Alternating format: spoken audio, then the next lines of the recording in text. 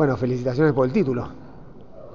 No saliste en el entretiempo. ¿Qué tenías que hacer en el entretiempo? ¿No saliste a festejar con los muchachos? Iba a salir, pero bueno, me entretuvieron los chicos abajo. Bueno, nada, estás tranquilo. Recién le decía a Campos, Atlanta es menos equipo que Racing, por lo menos hoy, y hoy se sacan de encima un partido fácilmente y con Atlanta lo que hablamos la semana pasada. ¿eh? Qué difícil, ¿eh?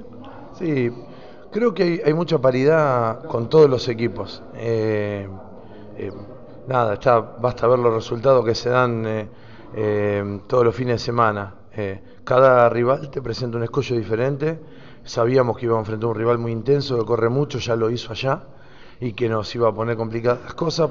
Por suerte lo pudimos resolver. Ahora tenemos que ver cómo resolvemos el que viene. ¿A qué apuntas? A ver, el quinto es.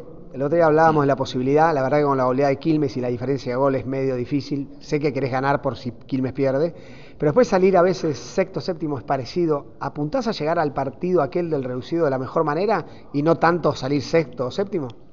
Eh, sí, sí, tal cual. Me parece que ahora viene un partido lindo, con un rival duro, para, para consolidar y para demostrarnos que podemos jugar en cualquier lado y que podemos superar a un equipo muy digno. Así que nos va a venir bien para, para eso, para la confianza y después tenemos el último acá también para llegar lo mejor posible a esas finales que se juegan. Te quiero preguntar hoy especialmente por Bolsen y por More, que entró un ratito.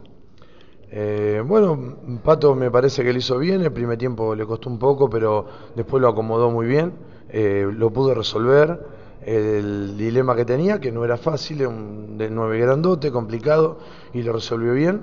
Y More, bueno, volviendo, volviendo, conforme el esfuerzo lo hace, se entrega, hace todo. Faltó eh, quizás que encuentre más juego, que por supuesto que es lo que él mejor sabe hacer, pero bueno, mientras no, no puede agarrar la pelota o no se la pueden acercar los compañeros, hizo el esfuerzo que tenía que hacer para ayudar en el resultado. La última, ¿qué pasó en el lateral izquierdo con Dilena, con Romero? ¿Salió por, por precaución? Eh, sí, te- tuvo una molestia y pidió el cambio, así que bueno, por eso decidimos que entrenase. Gracias, Jorge. De nada.